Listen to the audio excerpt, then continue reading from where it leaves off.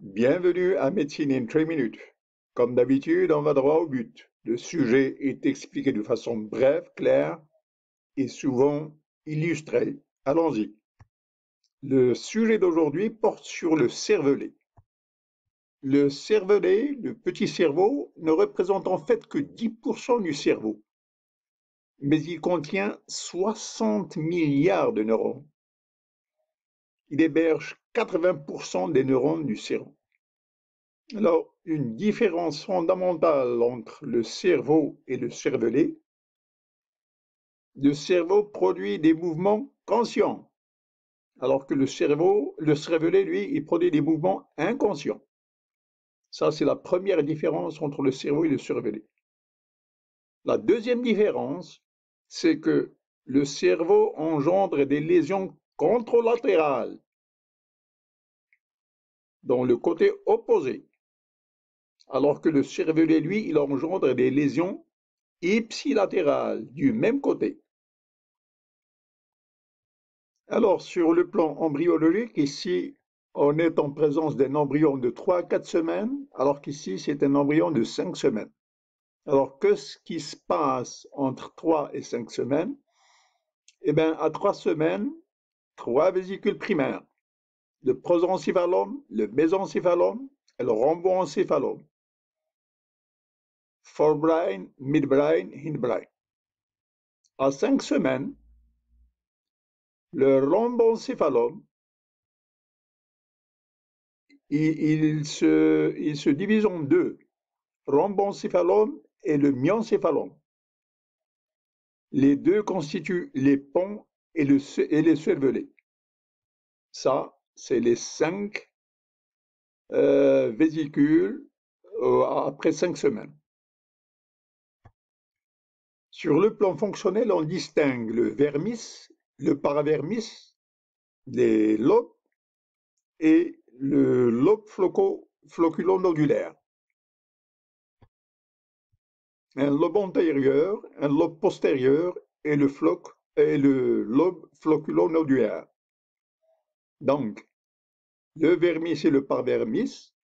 Ici, quand on regarde la projection du corps sur le cervelet, on trouve que le tronc et la tête sont projetés sur le vermis, alors que les membres correspondent aux régions paravermales.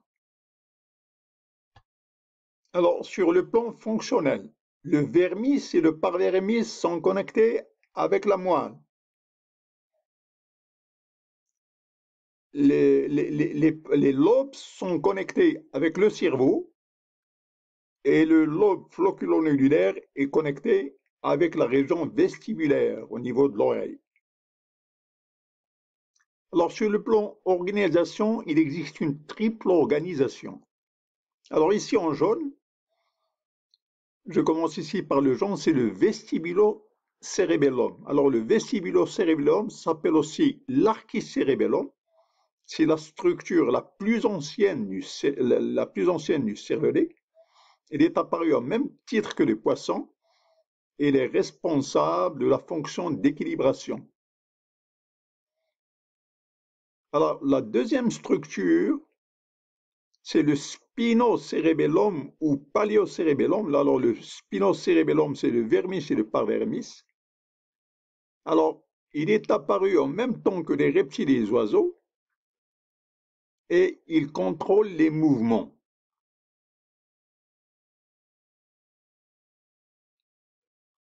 La troisième partie, enfin, qui est le néocérébellum ou le cérébrocérébellum, c'est cette partie qui est connectée avec le cerveau. Alors, elle est responsable du, de la planification du mouvement. Le, cervelet, il plane le, mouvement, il, il, prévoit le mouvement qui va, qui va se dérouler. Alors, ce cérébro-cérébellum, il est apparu en même temps que les primates.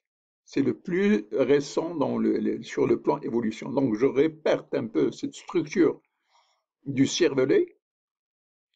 La structure la plus ancienne, c'est l'archicérébellum ou le vestibulocérébellum, qui est responsable de l'équilibre Il est apparu en même temps que les poissons, c'est la plus vieille structure.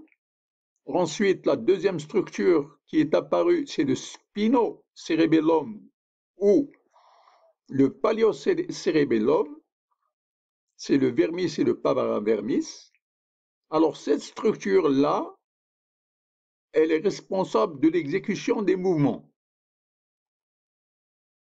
Le néocérébellum, enfin,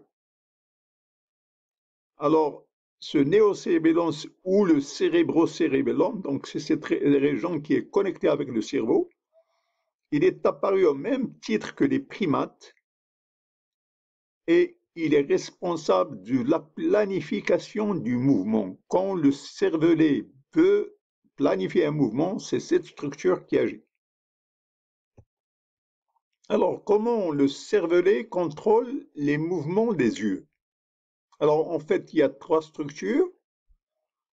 Le lobe floculo-nodulaire, il est responsable des mouvements doux des, des yeux, alors que le vermis, lui, il est responsable des mouvements horizontaux. La région paravermale, elle est responsable des mouvements verticaux.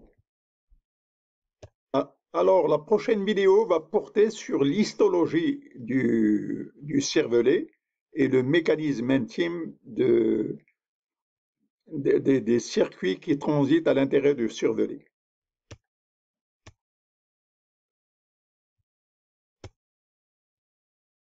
Merci d'avoir suivi cet épisode de Médecine en 3 minutes. Comme d'habitude, euh, vos suggestions sont bienvenues. Voulez-vous cliquer le bouton like? Et si vous n'avez pas encore adhéré, de le faire. Euh, merci pour votre attention.